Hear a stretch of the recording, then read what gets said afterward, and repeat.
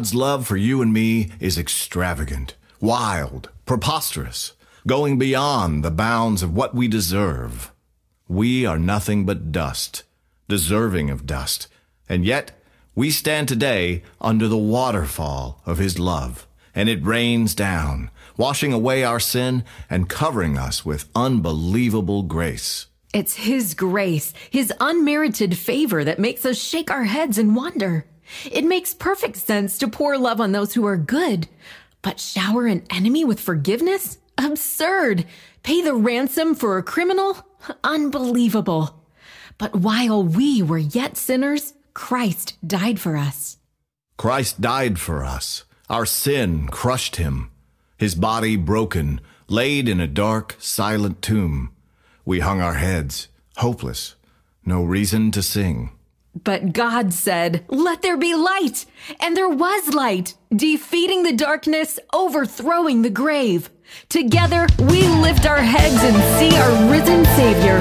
Hope springs eternal, and now with hearts overflowing, we sing.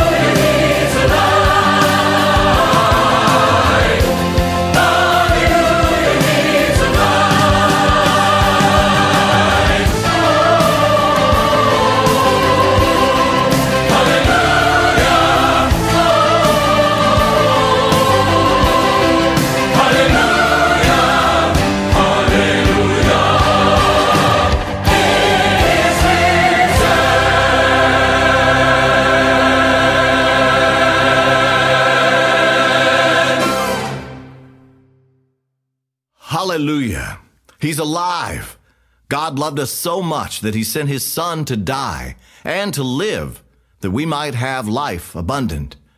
And as he pours his love into us through the Holy Spirit, our praises cannot help but tumble out of hearts overflowing with his love. And we have not yet seen him with our eyes.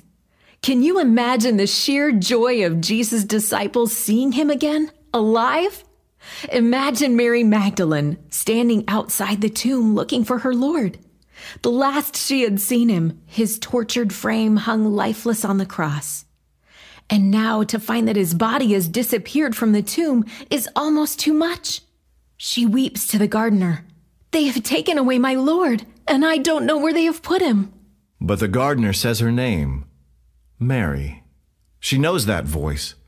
That voice that had once poured love and forgiveness over her, freeing her from the prison of her pain. She turns, looks into his eyes, and instantly she knows he is not the gardener at all. He is Jesus, alive.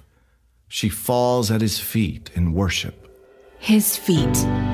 The same feet on which she had once poured a pound of costly perfume and dried it with her hair. Some said it was a waste. A year's worth of wages. Extravagant. But for her Lord who had loved her so extravagantly, it was not a waste. It was worship. At his feet the children gathered round in wonder. Even raging ocean waves bowed down in peace. At his feet the lame would leap, the deaf would hear him, blinded eyes could see.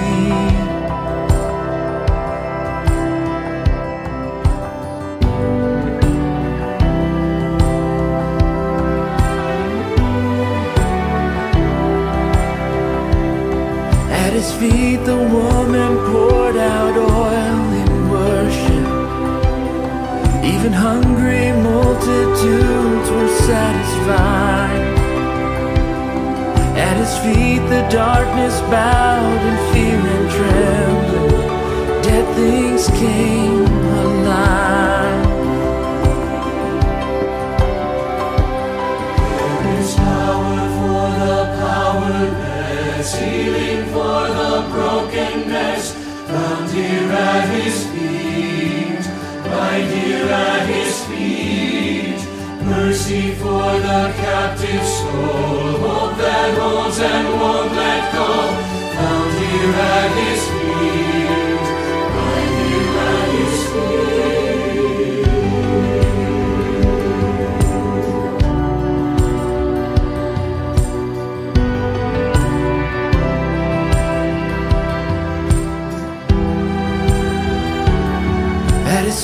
there's still a place for those who seek him.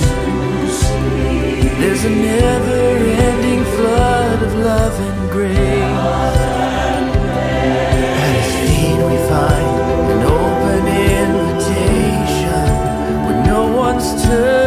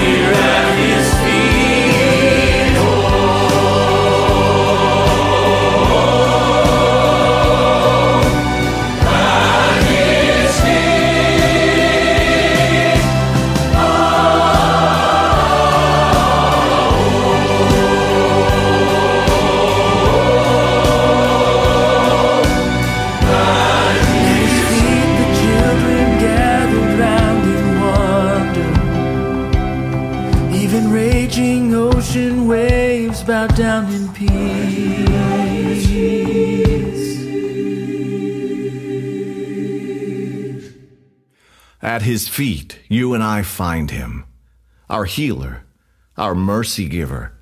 And it's only when we find him that we truly find ourselves. Loved, forgiven, accepted. No more need to earn his love. No more fight to please. God is the only one who matters, and he is pleased with us. Because of Jesus, he is pleased.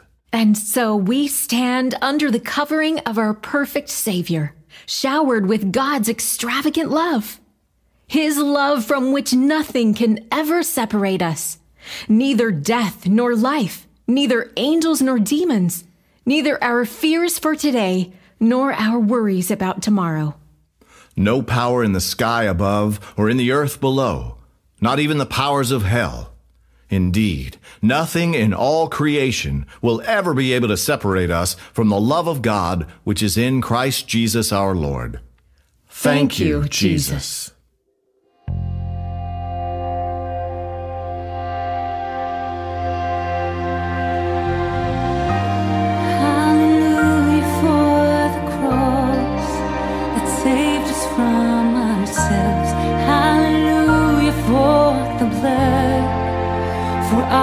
redemption spilled. Hallelujah for this love we don't deserve. Hallelujah for the Savior.